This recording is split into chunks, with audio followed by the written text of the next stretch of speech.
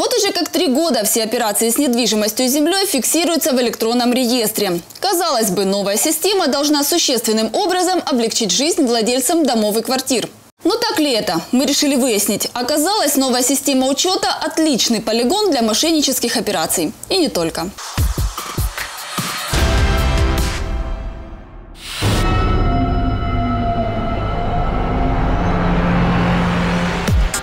Конец эры БТИ. Согласно постановлению Кабмина, с начала 2013 года недвижимость стали регистрировать по-новому. Полномочия передали новой структуре – Укргосреестру. Обещали, процедура получения документов ускорится и упростится. Это упрощение по той простой причине, потому что, во-первых, и меньше перечень документов, которые необходимы для регистрации. Мы будем требовать только две квитанции. Это квитанция за регистрацию, квитанция за вытек. За оставили только функции по проведению технической инвентаризации. А удостоверять сделки, регистрировать право собственности будут нотариусы, как государственные, так и частные. По данным ведомства, пройти аттестацию должны около 7 тысяч. А вот чтобы зарегистрировать квартиру в новом жилом доме или земельный участок, это государственным регистратором. Архивы БТИ пока что останутся в Бюро технической инвентаризации. Мы уходим от э, содержания больших архивов, потому что все это будет просто в электронном виде. Бюро технической инвентаризации должно было довести все в электронный вид не все случилось так, как задумывалось. Сразу после Нового года в коридорах регистрационной службы начали образовываться огромные очереди. В кабинетах полная неразбериха. Один раз приходилось с 5 утра очереди такие, что попасть невозможно, 200 по очереди. В первый кабинет я, как бы проконсультироваться, записаться, я три дня форсировала. Вот сейчас во второй стою, чтобы сдать документы, о которых я знала три месяца назад. Я сейчас записалась, а еще меня не консультировали. Я записалась записалась для того, чтобы сдать документы на 21 марта. А потом еще две недели буду ждать. Квартиру я купила 26 декабря. И я ее не могу зарегистрировать. Боясь того, наверное, что что-то поменяется, сразу начали обращаться. В среднем в день по городу Днепропетровску мы принимали до 120 человек. При этом люди шли с разными пакетами документов. Фактически где-то с 20-х уже чисел января потихоньку эта нагрузка начала спадать.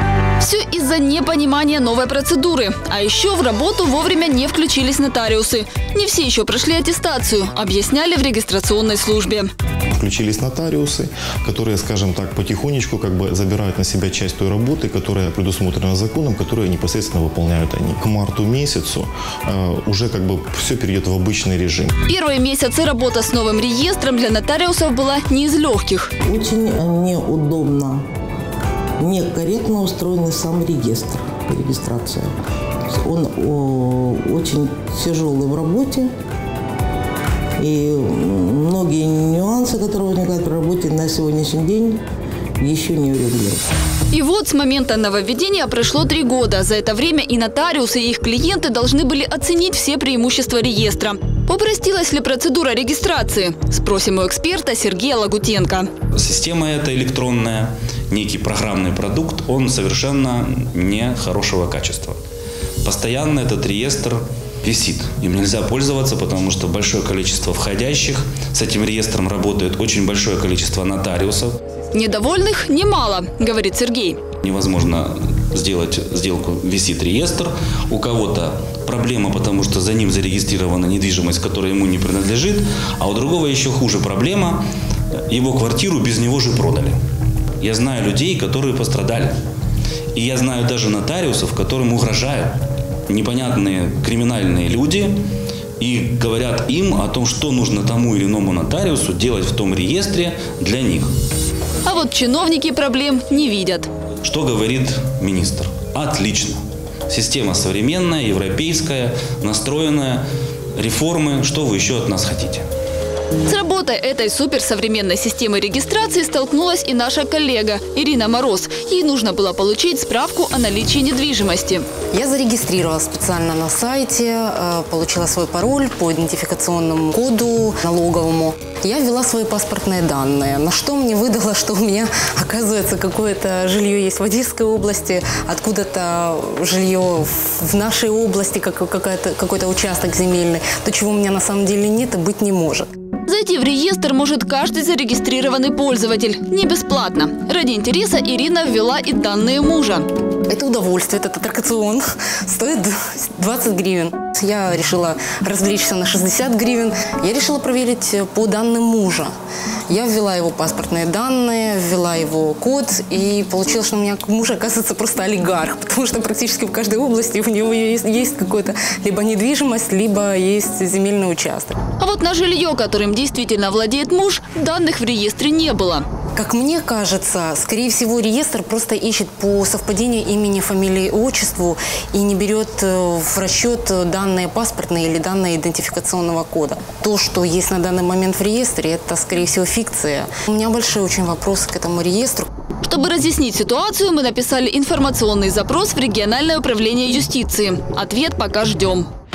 Не успели наладить работу реестра, как украинцев настигло очередное нововведение. В силу вступила новая редакция закона о госрегистрации прав на недвижимое имущество.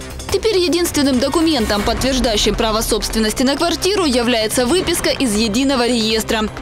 Же вносить изменения в реестр теперь могут не только нотариусы, но и Департамент госрегистрации Минюста и органы власти. Не бесплатно. Уже два месяца прошло, до сих пор эта система не налажена. Есть красивый бланк, как и раньше, договор купли-продажи.